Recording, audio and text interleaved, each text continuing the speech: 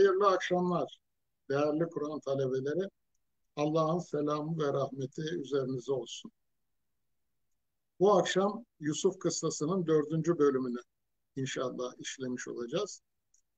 Bundan önceki bölümde biliyorsunuz e, Yusuf Aleyhisselam'ın köle olarak Mısır'a satılması ve oradan Mısır'da bir e, ileri gelen bürokratın evinde hizmetli olarak e, çalıştırılmasını görmüştük. Yusuf burada bu evde e, kendini kabul ettirir. Kabiliyetiyle, dürüstlüğüyle, ahlakıyla e, kısa zamanda o Kur'an-ı Kerim'in aziz diye bahsettiği e, bürokratın evinde e, Tevrat'ta ise Potifar diye bahsedilen bürokratın evinde e, iyi bir yere sahip olur. Hemen hemen evin ve konağın bütün e, yönetimini Yusuf'a bırakırlar.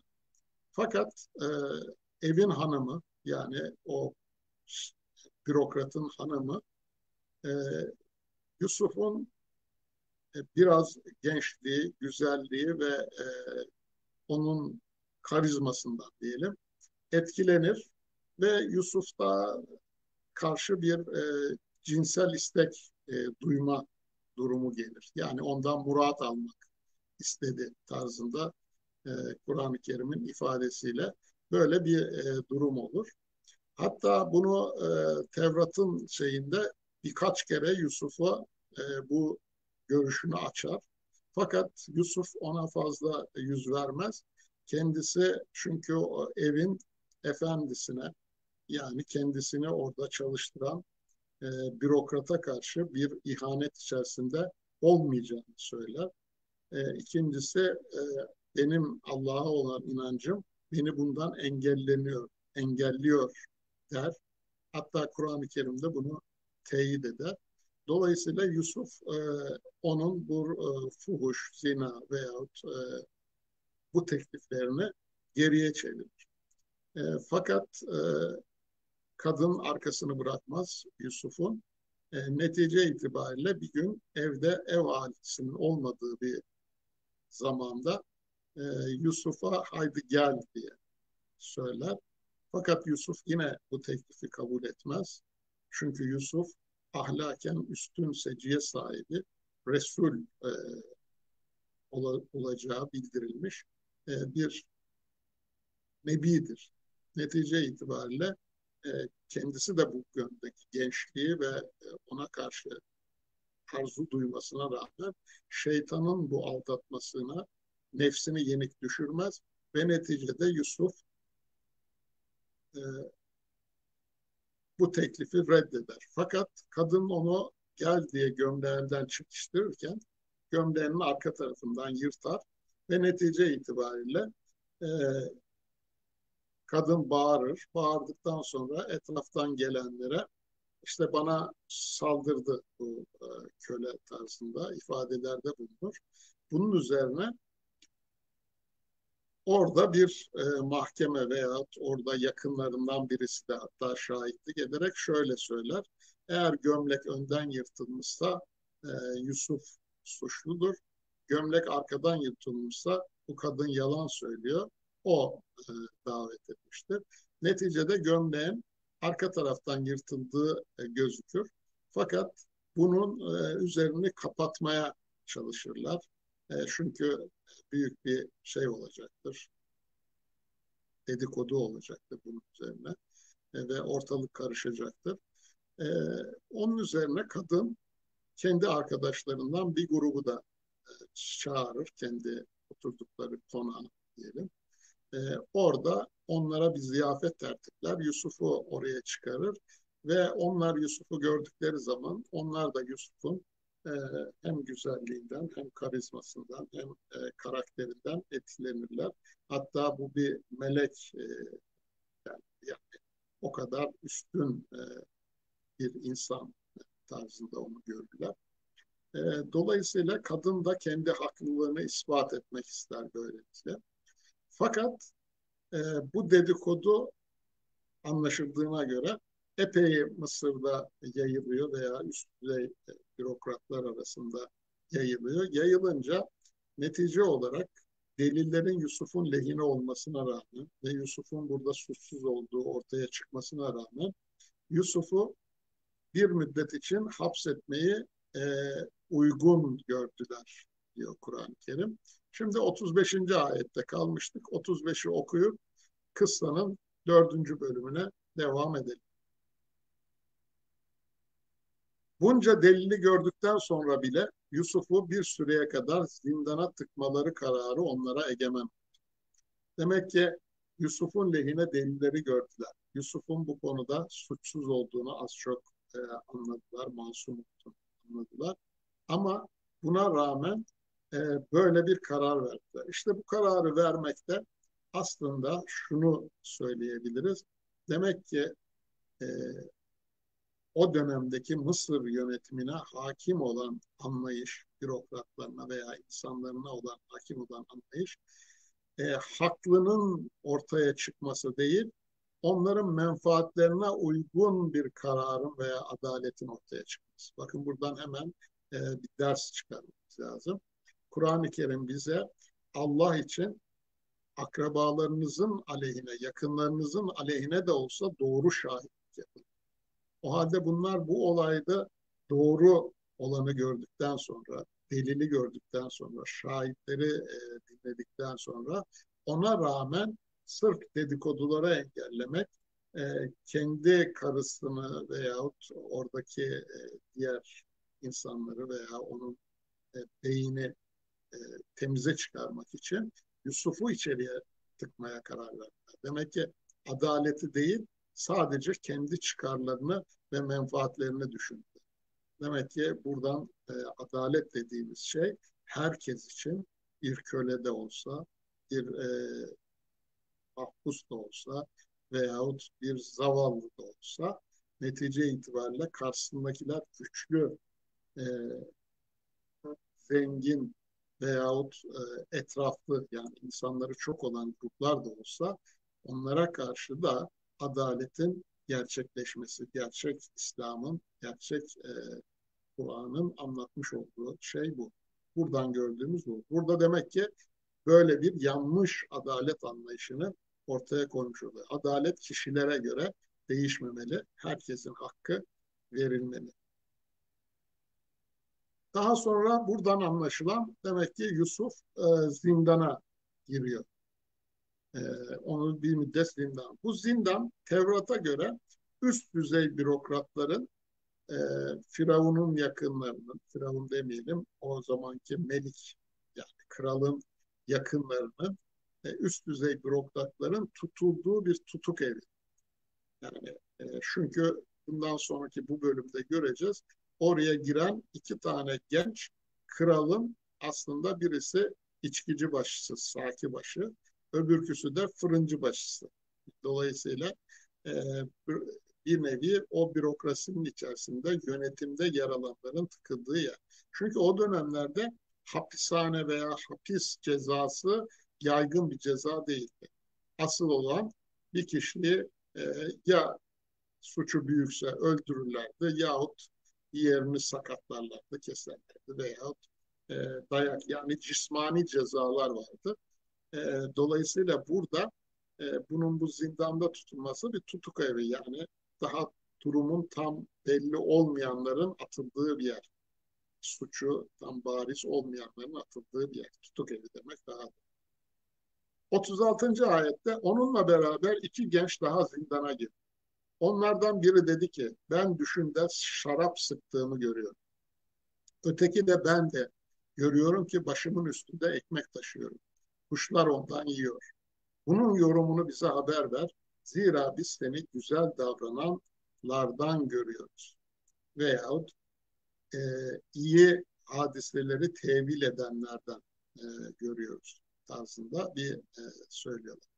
Buradan anladığımız şu, eğer bunun e, biraz daha teferruatlısını veya daha ayrıntılara girmek isterseniz o zaman bunun ayrıntıları Tevrat metinlerinde var. Aynen böyle anlatılıyor kıssa. İşte o içeriye giren iki kişinin birisinin e, kralın e, şarapçı başısı yani sakisi, içkilerini hazırlayan insan. Öbürküsünün de fırıncı başısı yani fırında ekmek e, taşıyan birisi olduğunu söylüyor. E, bunlardan e, saki olanı yani kralın sakisi durumunda olan ben düşümde şarap sıktığımı görüyorum. Yani e, netice itibariyle üzümden şarap e, sıkıyor onu görüyorum. Öteki de e, ben de başımın üstünde ekmek taşıyorum ve kuşlar ondan yiyor. Bunun yorumunu bize haber ver. Neden bunu söylüyorlar? Çünkü buradan anlıyoruz ki Yusuf hapishanede e, olayları yorumlayan yani hadiselerin tevili diyor Kur'an-ı Kerim. Bu sadece rüya değil, gördüklerini, e, meydana gelen olayları ve aynı zamanda da e, bunun içerisine rüya da girer. Rüya da bir hadisedir netice itibariyle gördüğünüz. E, dolayısıyla bunları yorumlayabilen ve bu yorumu da Allah'ın e, kendisine gösterdiği ilkeler istikametinde yapan e, bir Yusuf var. Onu duymuşlar. Dolayısıyla ona bunun yorumunu soruyorlar. 37. ayette devam ediyoruz.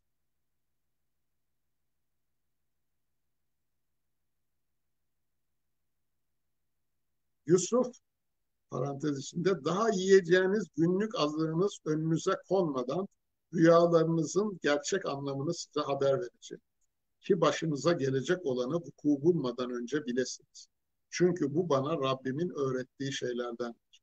Önce bilin ki ben Allah'a inanmayan ve ahiret gerçeğini tanımaktan ısrarla kaçınan bir toplumun izlediği yolu terk etti. Şimdi burada demek ki Yusuf e, diyor ki siz daha yiyeceğinizi yemeden önce. Demek ki bunlar gece gördüler, sabah anlattılar rüyalarını. Yemek yemeden önce anlamını haber verecek. Yani bir süre istiyor. Neden süre istiyor? Çünkü o rüyanın gerçek anlamı gayb bilgisidir. Bu gayb bilgisi ancak Rabbimin e, bildiği şeylerdendir diyor. O halde burada Kur'an-ı Kerim'deki vuku bulmadan önce çünkü bu bana Rabbimin öğrettiği şeylerdendir denmesi bir Rabbimin e, bu hadiseleri yorumlamayı öğretmesi. Bununla ilgili metodu, ilkeleri e, Yusuf'a öğretmesi var. Yani onun bir eğitimidir bu. Aslında peygamberler de bir eğitimden geçiyorlar. İkincisi bir de bu Yusuf'un kabiliyetidir. Yani hadiseleri, olayları tevil edip önünde ona karşı alınacak tedbirleri ortaya koyuyor. Çünkü tevil, e, yorum hadiselerin derininde yatan asıl gerçekleri anlamaktır.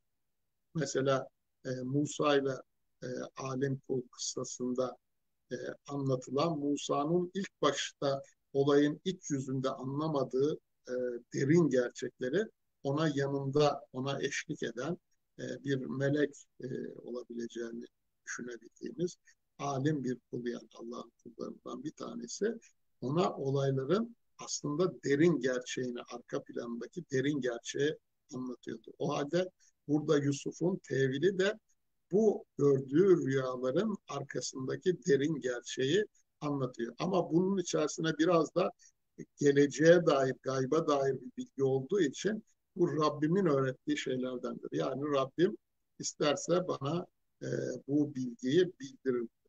Ondan sonra Yusuf devam ediyor. Bilin ki ben Allah'a inanmayan, ahiret gerçeğini tanımaktan ısrarla kaçınan bir toplumun izlediği yolu terk ettim. Yani demek ki Yusuf rüyaları bir kahin gibi e, veyahut e, gelecekten haber veren işte e, bir takım astrologlar gibi e, yorumlamayacağını anlatıyor. Demek ki e, buradan çıkaracağımız şey bu. E, onların izlediği şekilde ben bunu e, şey yapmayacağım, e, yorumlamayacağım. Ben size gerçekleri söyleyeceğim. Onu anlayabiliriz burada. E, bir de ikincisi Yusuf rüyayı yorumlamadan evvel e, bu ayetten anlıyoruz devamını da okur, okursak daha da iyi anlayacağız. 38. ayette okuyalım. Ve atalarım İbrahim, İshak ve Yakup'un yolunu tuttum. Çünkü tanrısal nitelikleri Allah'tan başka herhangi bir varlığa yakıştırmak bizlere yakışmaz. Allah bize bütün insanlığa bahşettiği lütfün, lütfun bir sonucudur bu. Ama insanların çoğu bu lütfun değerini bilmez. 39. ayette Ey mahpus arkadaşlarım hangisi daha iyidir? Birbirinden ayrı pek çok Rabbin varlığına inanmak mı yoksa bütün varlıklara egemen olan tek Allah'a inanmak? Allah'ı bırakıp taptığınız her şey gerçekte sizin ve atalarınızın kendi muhayyilenizden çıkardığınız anlamsız isimlerden öteye geçmemektedir. Çünkü bunlar hakkında hiçbir kanıt indirmemiştir Allah. Neyin doğru, neyin eğri olduğu konusunda hüküm yalnızca Allah'a aittir. Ve o da kendisinden başkasına kulluk etmemenizi buyuruyor. İşte dost doğru olan din budur ama insanların çoğu bunu bilmez. Şimdi Yusuf e, rüyayı yorumlamadan evvel e, hadiselerin tevilini yapmadan önce onlara aslında tevhidi anlatıyor. Şimdi her peygamberin anlattığı dört tane esas vardır demiştik. Dinde değişmez. Kur'an-ı Kerim'de her peygamber için bunu tekrarlar. Bir, peygamberler tevhidi anlatırlar. İki, risaleti anlatırlar. Üç, e, ahireti ve hesap gününü anlatırlar. Yani din gününü anlatırlar. Dördüncüsü de din gününde başarılı olmak için salih amel işlemeniz gerektiğini anlatır. Bu bütün peygamberlerin ortak e, söyleşisidir veya ortak öğretisidir. Dolayısıyla Kur'an-ı Kerim aslında buna zikir diyor. Onun dışında peygamberlerin kendi toplumlarının güncel sorunlarını çözmek için e, söyledikleri çabaları, kimisi ahlaki bunalımdan geçen bir toplumun ahlakını düzeltmek için önceliği vermiştir ona. Kimisi e, ticareti doğru dürüst yapmayan, eşkıyalık yapan bir toplumu e, düzeltmeyi e, daha öncelemiştir. Kimisi e, işte vakıf mallarını talan eden, halkın, fakirin, yoksulun mallarını elinden alan, onlara bir hak tanımayanların e, olduğu bir ülkede bu durumu düzeltmeyi e, önceliğe almıştır. Lut kavmi gibi ahlaki sapıklıkta olan bir toplumun e, öncelikli problemi o ahlaki düzeltmeyi sağlamaktır. Ama bunlar güncel, her toplumun değişen sorunları, e, önemli sorunlarıdır. Bu sıralama yapılır. Ama her peygamberin ortak e, söylemi veyahut ortak öğretisi bu dört tane esasa dayalı.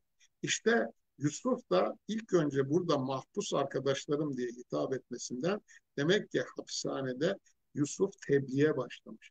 Yani kendisine risale gelmiş. Orada e, insanlara Allah'ın öğrettikleri vahyi e, onlara anlatıyor. Rüyayı yorumlamadan evvel Yusuf'un bu vahyi onlara anlatması, tekrar etmesi, tevhidi anlatması demek ki bizim aslında aynı zamanda aynı zamanda tebliğ metodumuzu da bize hatırlatıyor. Yani buradan çıkaracağımız şey hangi şartlar altında olursak olalım, hangi ortamda olursak olalım ilk önce önceleyeceğimiz e, tebliğ tevhiddir. Yani şirki insanlara anlatmak, tevhidi doğrulatmak, la ilahe illallah'ı öğretmek gerekir. Bunu öğrettikten sonra diğer anlattıklarınız, yaptıklarınız, ıslah hareketleriniz, ahlakınız e, ondan sonra bir anlam kazanır. Ondan sonra e, gerçekten bir şeyler yapmış olursunuz. Demek ki öncelikli şey tevhid. O halde burada Yusuf'un yaptığı şey bunlara tevhidi anlatıyor. Birincisi Allah'tan başka hiçbir e, varlığa tanrısal nitelikler yakıştır e, yakıştırmayın demek istiyor. Yani Allah'ın e, ilahi niteliklerini insanlara vermemek. En basitinden söyleyelim, en çok yapılan e, hatalardan e, bir tanesidir bu. Allah'ın e, insanları affetme yetkisi, yargılama yetkisi, yani şefaati Allah'tan başka bir varlığa mesela yakıştıramazsınız. Bu peygamber bile olsa. Demek ki şefaatçi olan, insanları gerçekten affa uğratan, insanları gerçekten affedecek olan, e, onları din gününde yargılayacak olan Allah'tır. Kararı o verir. E, onun uygulamasını Allah e, belki oradaki elçilerine, meleklere, onlara verebilir. E, onun da bir garantisi yok ama şefaatin tümü Allah'a aittir. Demek ki bu bir e, tanrısal niteliktir. Onu bir başkasına kullarını yargılama yolunda başkasına vermez. İbadet edilecek varlık olmak da mesela Allah'ın e, sıfatları, tanrısal niteliklerinden bir tanesidir. Allah'ın yanında başka bir varlık için ibadet yapılmaz. Yani bu peygamber de olabilir. Hazreti İsa'ya tapınmak, Hazreti İsa'dan yardım istemek, Hazreti İsa'ya e, kendisini cehennemden kurtarılması için veya günahlarının affı için başvurmak, papazlara, e, din adamlarına başvurmak, günah çıkartmak, hepsi bunlar bir nevi onlara tanrısal nitelikler vermek demektir. Demek ki bu da yok. Peki başka da yani nedir tanrısal nitelik? Kesin helal ve haramı mutlaka Allah koyar. Allah'ın koyduğu da zaten Kur'an-ı Kerim'de bellidir. Demek ki helal ve haram e, koyma yetkisini kesin e, kastediyorum. Allah'tan başka hiçbir varlığa veremezsiniz. Ama e, geçici olarak e, bir takım sebeplerle e, gerek peygamberler, gerek yöneticiler bir takım yasaklar veya şeyler koyabilirler. Bunlar helal veya haram değil.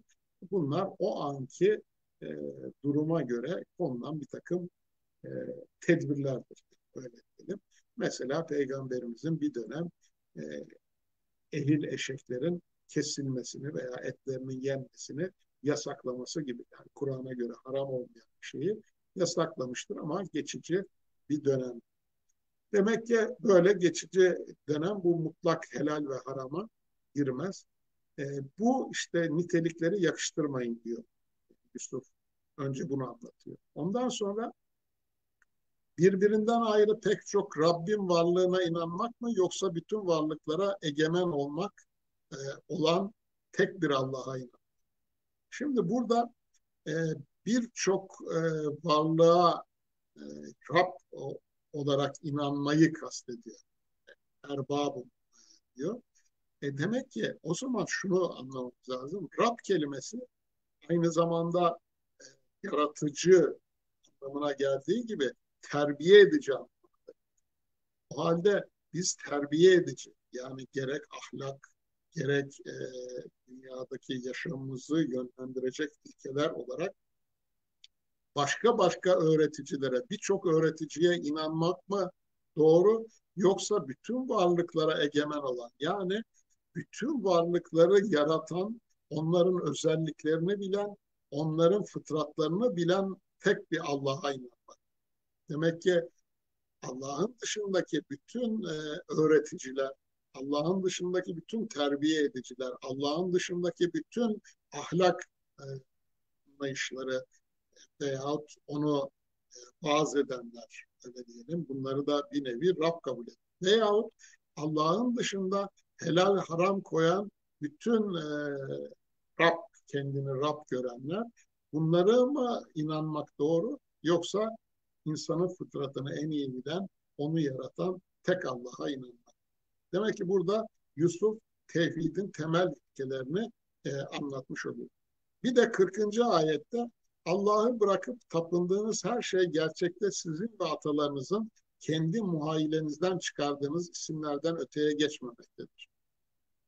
E, buradaki atalarınızın kendi muhayyilenizden çıkardığı e, bir takım isimlerden kastedilen şu, bakın e, eski çağlarda günümüzde de böyle bir takım iyi insanlar da olabilir bunlar güçlü insanlar da olabilir, efsane isimler de olabilir.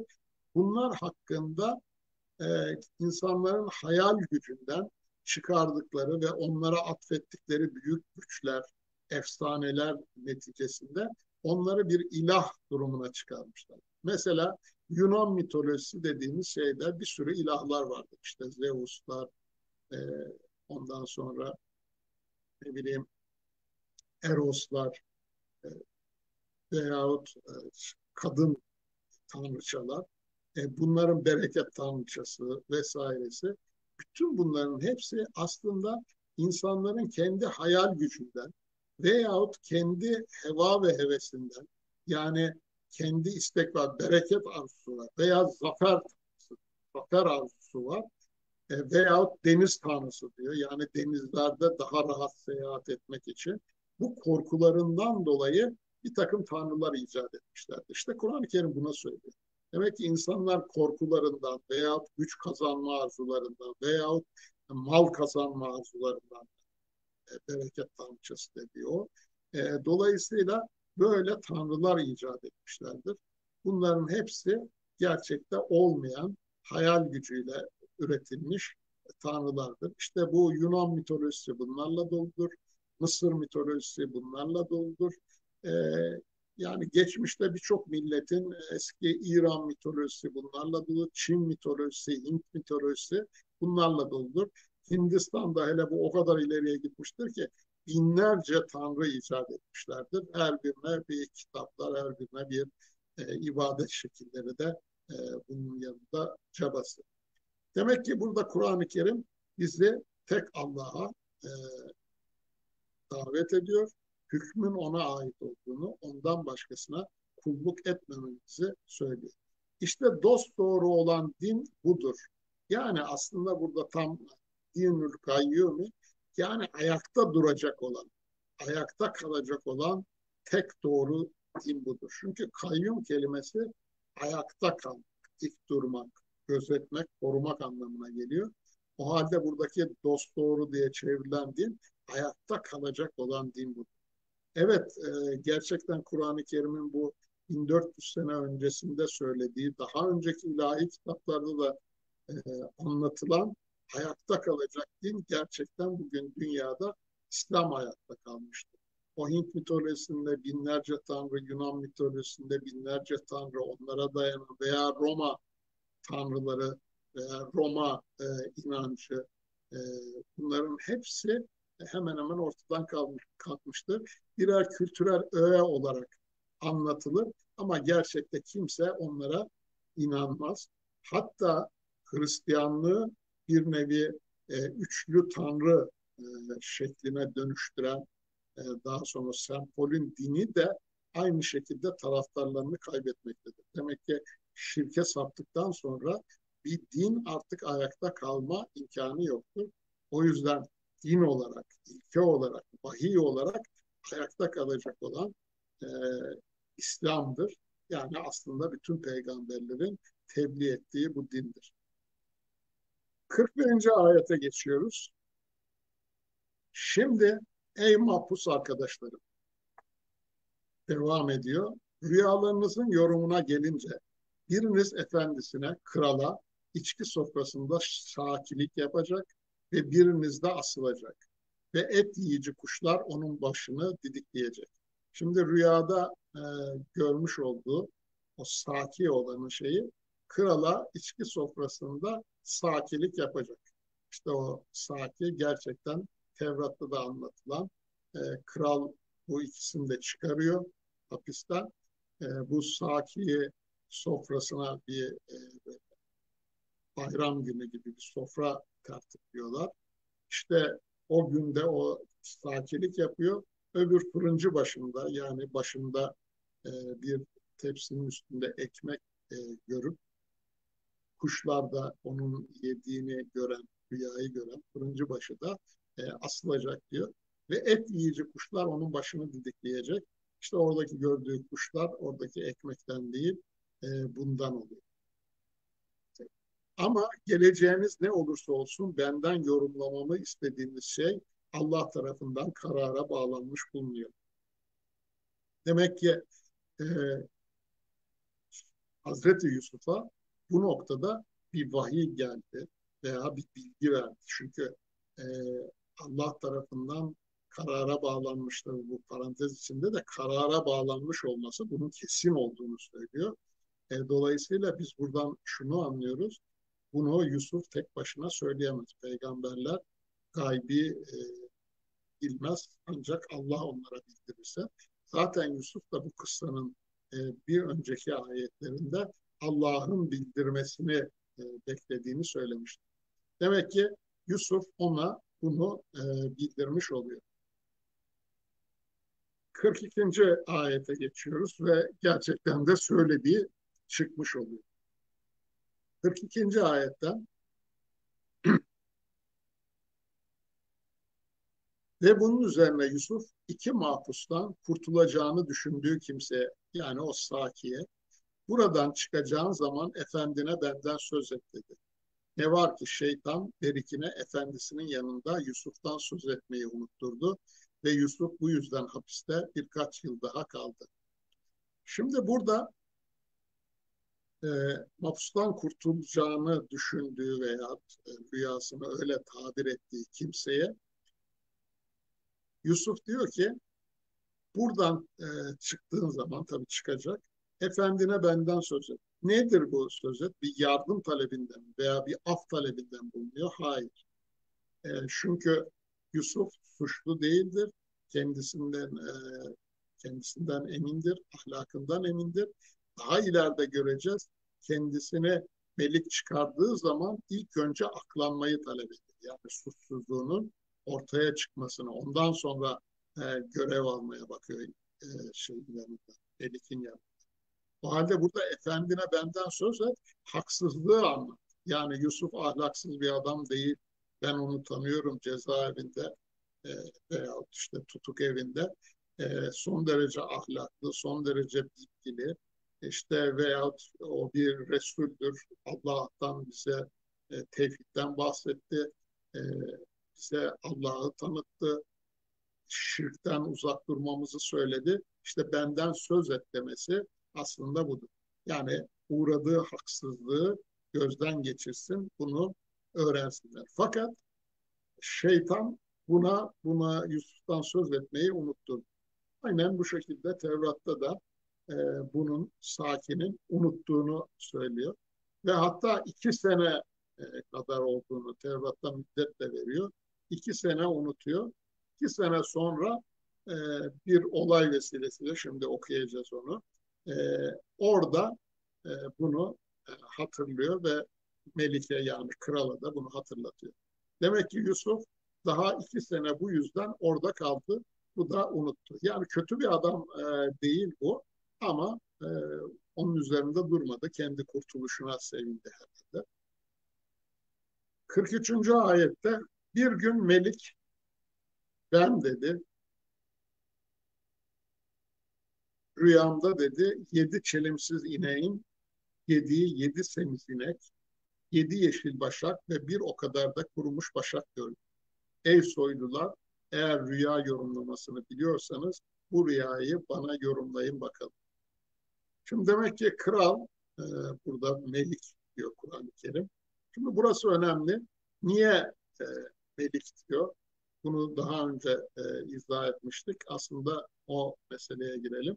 Biliyorsunuz Kur'an-ı Kerim'de Hazreti Musa kıssasında da hemen hemen e, bütün Mısır e, hükümdarlarından Firavun diye bahseder Kur'an-ı Kerim. Ama Yusuf kıssasında bundan melik olarak e, bahsediyor. Bunda bir incelik var. Neden e, diğerlerinden Firavun bahsediyor? burada melik olarak bahsediyor. Bu incelik önemli. O yüzden ona bir e, burada dokunmamız gerekiyor. Şimdi Mısır'da e, hakim olan Mısır'ın e, yerlisi diyebileceğimiz Kıpti yani topluluklara da e, Firavunlar uzun süre hüküm sürmüşlerdir orada.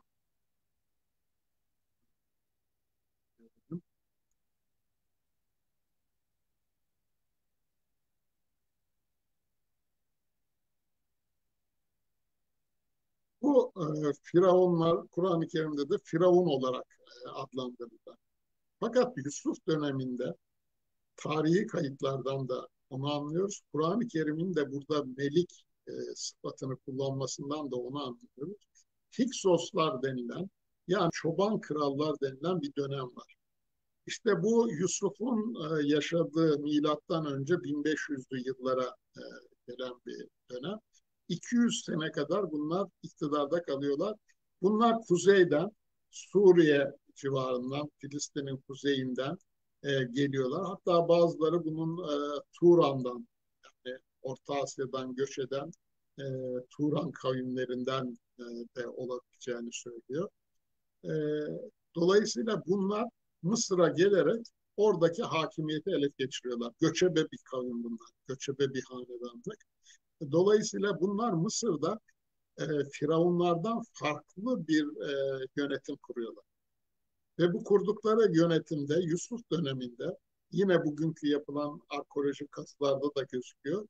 Bu Hiksos krallarının hele bir tanesinin e, çok fazla tevhidi e, yani tek tanrı inanışına bağlı olduğunu hatta onun dışındaki e, tanrıları yani şirk e, olarak gördüğü tanrıların e, şeylerini ortadan kaldırdı. E, o onunla ilgili din görevlilerinin daha önceki tapınaklarda görevli din görevlilerinin çoğunu görevden aldığını e, biliyoruz. Bu dönem e, kısa bir dönem e, bu iktidarda kalmış. Onu, ondan sonra tekrar bunu şeyler deviriyorlar. Mısır'ın Kıpti hanedanları. Netice itibariyle Firavunluğu tekrar kuruyor. E, dolayısıyla işte bu dönemde bir dönem bazı Mısır e, krallarının e, tek tanrıcı yani monoteist bir inanca bağlı olduğunu yani Müslüman değil mi onu o kadar e, bilemiyoruz ama bunların tek tanrı inanışına bağlı olduğunu biliyoruz. Kur'an-ı Kerim de o yüzden bunlardan melik diye bahsetmesi e, mümkündür. Yani diğer e, hanedanlardan, Firavun hanedanlarından bunu ayırmış bulunuyor. O halde burada tekrar ayetimize dönersek bir gün melik dedi ki veya kral dedi ki denirken buradaki bu kralın farklı olduğuna da Kur'an-ı Kerim işaret etmiş oluyor. Şimdi rüyasında ne görmüş? Yedi çelimsiz inek e, ve yedi semiz inek. Yedi çelimsiz inek bu yedi semiz ineği yiyor. Yani ilk önce e, Tevrat'ta bunun ayrıntısını buluyoruz. E, Nil'in içerisinden Nil nehrinin kenarında yedi tane semiz inek görüyor. Daha sonra yedi tane çilim, çelimsiz ve çirkin sıska inek geliyor ve bunları yiyorlar. Ortada bir şey kalmıyor. Daha sonra yedi yeşil başak yani dolgun başaklar görüyor. Sonra yedi tane de kurumuş başak görüyor. Demek ki şeyin rüyası bu. Ey ileri gelenler, eğer rüya yorumlamasını biliyorsanız bu rüyamı bana yorumlayın bakalım. Şimdi buradaki e, rüya e, şeyin Melik'in gördüğü bir olay. Şimdi rüyalar e, nasıl bir şeyler? E, bunu az çok bilmemiz lazım. İnsan rüyası demek aslında bilincinin, insan bilincinin uykudayken serbest kaldığı bir anda gördüğü bir takım e, gösteriler veya gördüğü bir takım resimler veya videolardır öyle diyelim.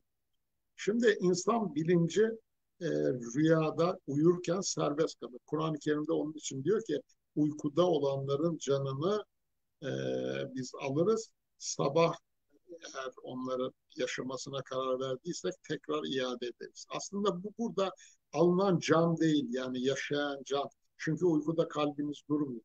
Uykuda e, beyniniz iflas etmiyor. Ne oluyor aslında sizin uykuda alınan nedir oradaki? Alınan uykuda sizin bilincinizdir. Yani bilincinizi serbest bırakıyor. Rabbimiz yani vücudunuzdan bilinci ayırıyor. Siz rüyanızda kendinizi e, Türkiye'de uyurken Avrupa'da görebilirsiniz, Çin'de görebilirsiniz, Japonya'da görebilirsiniz. Yani bilinciniz geziyor aslında orada. Veyahut ayda görebilirsiniz kendinizi. E, demek ki burada bir bilinç e, serbest kalma durumu var. Şimdi bu bilinç serbest kalma durumunda insanlar bir geleceğe dair bir takım şeyler görebilirler. Yani bilinci serbest kalmış bir vizyonu varsa, bir e, şeyi varsa veyahut Rabbim onlara bir e, rüya göstermişse ki bizim mesela peygamberimize İsra suresinde öyle diyor sana bazı e, şeyleri göstermek için gece yarısı kulumu götüren tabiri. Yani burada demek ki o rüyayı Rabbimiz ona gösteriyor. Dolayısıyla bunu onu e, götürüyor. Bunlar gerçek rüya. Bir de insanların kendiliğinden gördüğü rüyalar var. Bu rüyalarda dış etkiler de etkilidir. Mesela insan e, ne bileyim eğer ayağı bir yere sıkışmışsa şeyde yatarken rüyasında ayağının kesildiğini veya koptuğunu görür veya ayağına felç olduğunu görür. Böyle görür. Veyahut işte bazen çocuklar arasında şaka olarak yapılan e, su dökerler e, bir kaptan bir kaba. E, onu e, idrarını yapmaya uykusundayken e, böylelikle onun bilinçaltına hitap ederler. Demek ki insanlar bir de bilinçaltlarının dürtüleriyle e, bazı rüyalar görürler. E, bir de şeytanın gördüğü rüyalar vardır. Onlar da insanı ifsat etmek için, yani onları yanıltmak için, yanlış yöne sürüklemek için görülen rüyalar. Demek ki o zaman rüyalar ne yapılabilir? Yorumlanır. Yorumlanması için rüyanın e, mutlaka e, onun altında bir bilgiye göre yorumlanması lazım. Yani bir insan psikolojisini bileceksiniz. İnsan içgüdülerini bileceksiniz. E, ondan sonra o insanın bir fiziksel dış baskıya uğrayıp uğramadığını bileceksiniz. Veyahut kafasındaki büyük bir problem var mı e, onu bileceksiniz. Ona göre o rüyayı e, yorumlarsınız. Hadiseleri yorumlamak da böyle. Yani rüyayla hadiselere işte Yusuf'un bildiği hadiselerin yorumlanması yani olayların yorumlanması da e, buna girer. Şimdi burada kralın gördüğü bir netice itibariyle bir olay veya rüya neyse e, bunu yorumlayacaksınız şey olarak. Demek ki bunun için bir bilgi lazım. Eğer e, size Rabbimiz yardım edecekse, peygamberseniz yani e, Resulseniz size vahyi bir destek de olabilir. Ama yok böyle bir şeyiniz yoksa o zaman kendi vizyonunuz, kendi e, kabiliyetiniz e, ve Allah'ın Kur'an'da bildirdiği ilkelere göre bu rüyayı yorumlamanızda e, fayda vardır. O halde demek ki e, bu böyle bir e, rüya görmüş, bunu yorumlamasını istiyor. Yorumcular dediler ki, yani o karşı taraf, işte ileri gelenler dedi, onlar e, diyorlar ki anlaşılması zor, karmaşık rüyalardan biri bu. Hem bu rüyaların işaret ettiği gerçek anlama dair derin ve sağlam bir bilgiden biz yoksunuz. Şimdi demek ki burada e, söylediği çok önemli ve güzel bir e, tefsir veya meal. Bu rüyalar anlaşılması zor ve karmaşık rüyalardan biri. Edgasü ahlam diyor. Aslında bu demet demet hayal veya demet demet e, işte bir takım e, veriler öyle diyelim. Türkçe şimdiki Türkçe'ye çevirirsek hemen onun anlamlarına da bakalım. Kelime anlamları.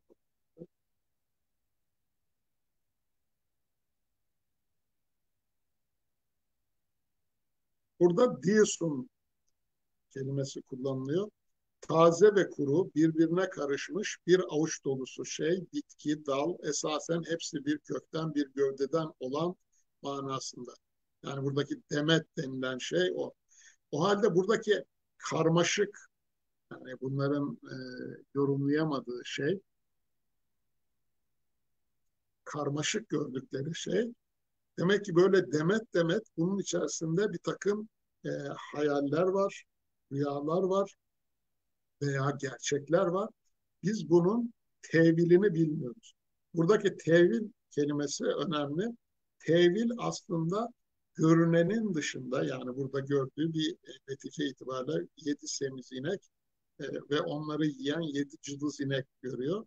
E, bunun tevili yani onun altındaki derin gerçeği biz bilmiyoruz dediler. Demek ki Yusuf'un şimdi bu rüyayı yorumlaması arkasında derin gerçeği yani bu konuda bilgi sahibi veya sağlam bir bilgi sahibi olduğunu görüyoruz. Ve bu Yusuf'un bu bilgi sahibi birisi sayesinde e, kendisinin daha sonra da sarayda çok önemli hatta ülkenin yönetimine getirileceğini de göreceğiz. O ikisinden kurtulmuş olan da nice zamandan sonra hatırladı ve dedi ki, şimdi yani o iki kişi vardı ya zindanda genç, onlardan kurtulmuş olan yani sakiliğini yapan kralı dedi ki ben size onun tevilini haber veririm hemen beni gönderin. Nereye gönderin? Zindana gönderin diyor. Gideyim yani onun aklına gelen o. Yusuf'u hatırladı. Onunla konuşayım. Gelsin bunu yapsın. Çünkü o yaptığı rüyada gördü ki onun e, yaptığı hadiselerin tevili yani rüyanın yorumu e, gerçek çıktı. Doğru e, ve isabetli bir şekilde e, karar verdi. Sonra bu adam gidiyor parantez içinde böylece Yusuf'u hapishaneye de görmeye gitti ve ona ey Yusuf ey sözü doğru adam özü sözü doğru adam bakın burada e, bu bunu önce tasdik ediyor demek ki hem ahlak olarak hem söz olarak her türlü şekilde ona güveniyor kolay kolay. Demek ki buradan bir ders daha çıkarmamız lazım. Demek ki buradaki Nebi veya Resul olan Yusuf ilk önce emin Yusuf'tu. Aynen peygamberimizin peygamberlik gelmeden önce Muhammedül Emin yani Emin Muhammed olması gibi. O halde İslam'ı tebliğ ettiğini veya onu yaşadığını iddia eden insanların ilk vasfının emin olmaları, güvenilir ve doğru sözlü olmaları önemli. Yoksa kendisi insanlar arasında yalancı veyahut insanlar arasında güvenilmez, onların güvenlerini boşa çıkartan, onlara ihanet eden, kazık atan, e, binbir dalavera çeviren bir adamın tebliğ ettiği e, dünyanın en doğru dini de olsa hiç kimse ona inanmaz. Çünkü söyledikleriyle yaptıkları arasında büyük bir çelişki var. O halde buradaki Yusuf'un özelliği özü sözü doğru, içi ve dışı söyledikleri doğru olduğu için ona güveniyor. Rüyada görülen yedi çelimsiz ineğin yediği yedi semiz inek ve yedi yeşil başakla yedi kurumuşmuş başak ne anlama gelir? Bunu bana yorumla ki senin açıklamanla saraydaki insanların yanına döneyim. Onlar da böylece senin nasıl biri olduğunu öğrensinler. Demek ki Yusuf'tan bunu öğrenmek istedi. Yusuf dedi ki, yedi yıl adetiniz üzerine devamlı ekerseniz yiyeceğiniz için az bir şey ayırmanız dışında biçtiklerinizi başağında bırakınız. Veyahut yedi yıl boyunca her zamanki gibi ekip biçin ama hasat ettiğiniz ekini yemek için ayıracağınız az bir miktar dışında öylece başağında bırakın. Devam edelim sonra üzerinde duralım. Çünkü yedi yıl sürecek olan bu bolluk zamanından sonra yedi yıllık bir kıtlık dönemi gelecek ve sizin bu dönem için hazırladığınız her şeyi sakladığınız az bir miktarın dışında silip süpürecek. Demek ki Yusuf'un rüya yorumu bu. Şimdi e, bunun detaylarını eğer e, öğrenmek istersek, yani ilimde derinleşmek isteyenler için e, söylüyorum. Tevrat'ta bu olayı böyle anlatıyor. Yedi yıl boyunca bir kıtlık, e, şey bolluk dönemi olacak. E, dolayısıyla bu yedi yıl bolluk döneminde e, çok ekin alacaksınız. Fakat arkasından yedi yıllık bir kıtlık dönemi gelecek. Çünkü hani yedi semiz inek gördü. Daha sonra o yedi semiz ineğe yiyen yedi e, kısır veyahut zayıf inek görmüştü kral e, melik. E, dolayısıyla burada yedi yıl bolluk yılının arkasında yedi tane de e, darlık veya kuraklık yılı gelecek. E, dolayısıyla bu yedi bolluk yıkında yiyeceğiniz için bir miktarını ayırın, diğerini başağında bırakın e, diyor.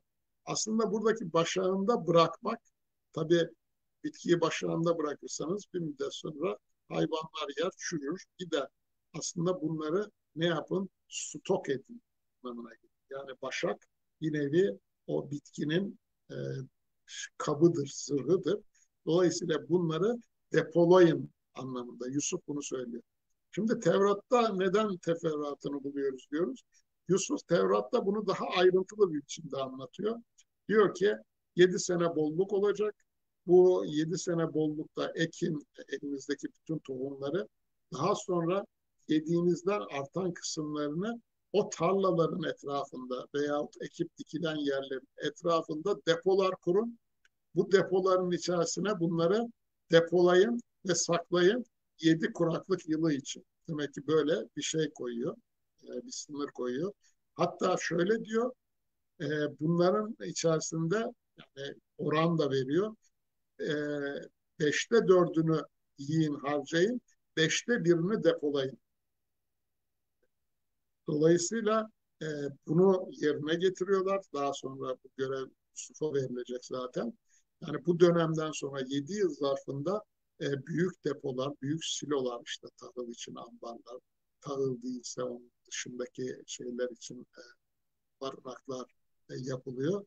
Ve buraya bu mallar bolluk zamanında e, biriktiriliyor. Ne için? Kuraklık yılları için. Demek ki buradaki şey o. Bu ardından sakladıklarınız az bir miktar yani tohumluk e, olarak saklanan bir miktar sonraki yıllardaki ekimler için kullanacaksınız. E, o yıllar için bitirdiklerinizi yiyip bitirecek yedi kıtlık yılı gelecektir. Ve kıtlık veya kuraklık yılı. Ve gerçekten de bu böyle e, oluyor. Ve Bundan sonra halkın bu kıtlıktan, darlıktan kurtulacağı bir yıl olacak. O yıl insanlar eskiden olduğu gibi bol bol zeytin ve üzüm sıkacaklar. Yani artık o yedi yıldan sonra tekrar e, yağmur yağar ve bir şeye gelirsiniz. Yani bolluk yılına dönersiniz. Demek ki böyle bir e, süreç, dönem e, söylüyor. Adam bu yorumu bitirince, getirince yani bunu duydu ne yaptık? O götürüp onu Melik'e anlattı. Melik diyor ki onu bana getirin dedi.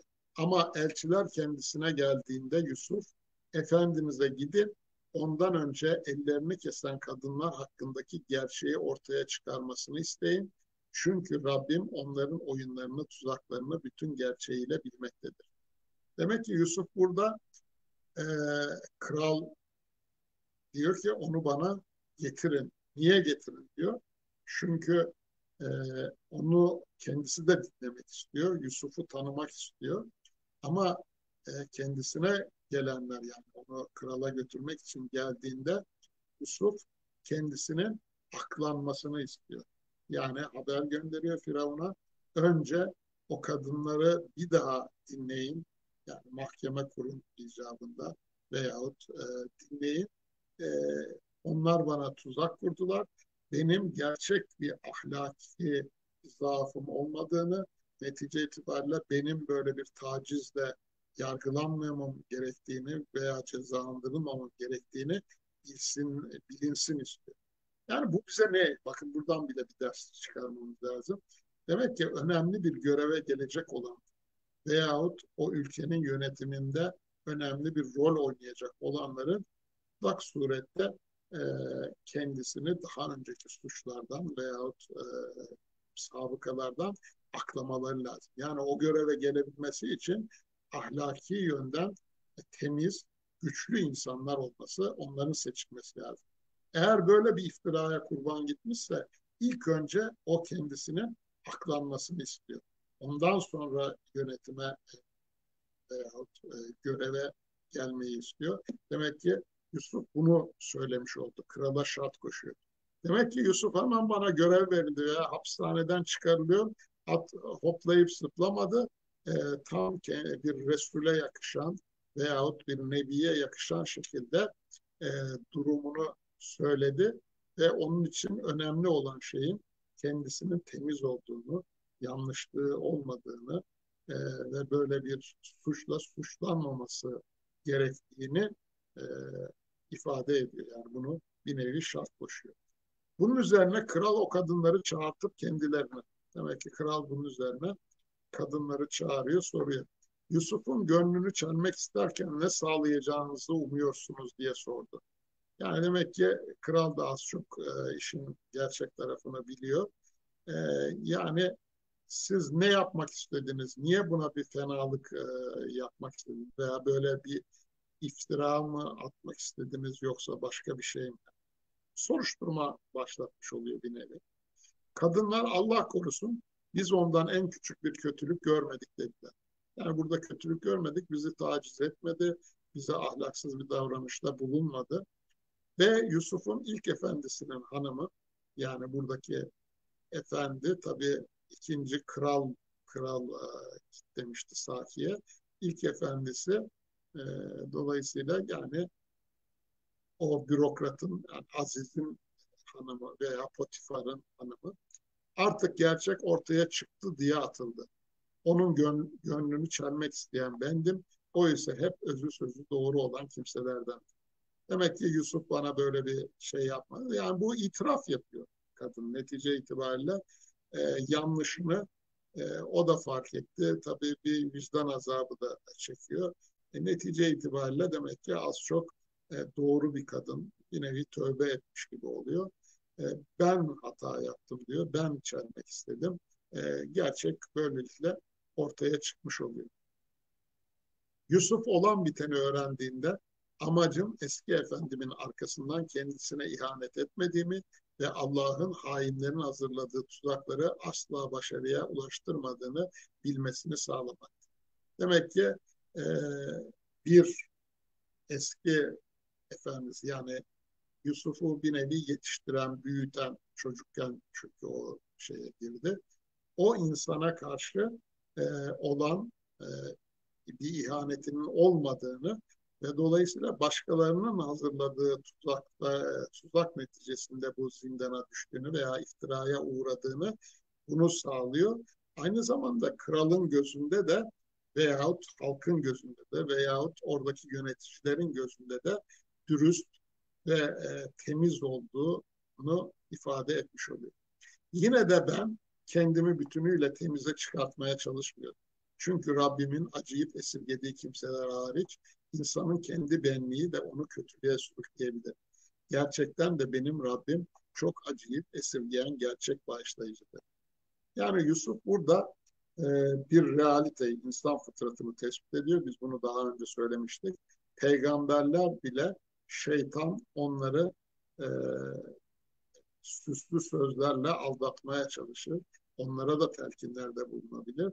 Hani fi nas e, yani insanların göğüslerinde bu insan tanımı içerisine peygamberler de girer, herkes girer, alimler de girer. Dolayısıyla her insanın mutlaka bir şeytanı var. Onu e, kötülüğe sürüklemeye çalışan.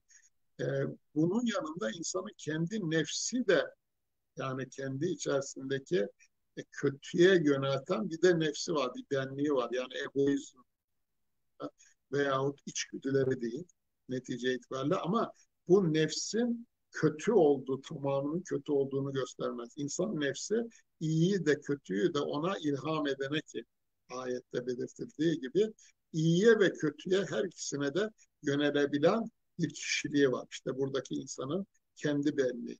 O halde bu kötülüğe sürükleyen bir yönü de var. Yani ben kalbim tamamen temiz, hiçbir şey duymadım, hiçbir şey hissetmiyorum veyahut böyle bir şeyle uzaktan yakından alakam yok gibi bir şey söylemiyor. İnsan fıtratını tanıtıyor ama ben onu engelledim. Ben hiçbir gayri ahlaki e, davranışa veyahut o hanımları taciz edecek veya onlara sıkıntı, kötülük verecek bir şey yapmadım e, diye de bunu ilave ediyor.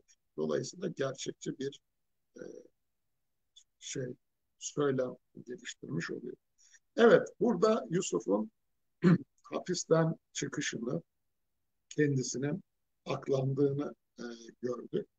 Bundan sonraki bölümde Yusuf'un Mısır e, tahtında çok önemli bir göreve geldiğini, nasıl getirildiğini, e, o Melik'in e, gerçekten şirk içinde olan, Allah'a inanmayan veyahut e, şey olan, yani firavunlar tarzında bir insan mı olup olmadığını inşallah bundan sonraki bölümde e, inceleyeceğiz. Hepinize Hayırlı akşamlar. Allah'ın rahmeti ve selamı hepinizin üzerine olsun. Hayırlı geceler.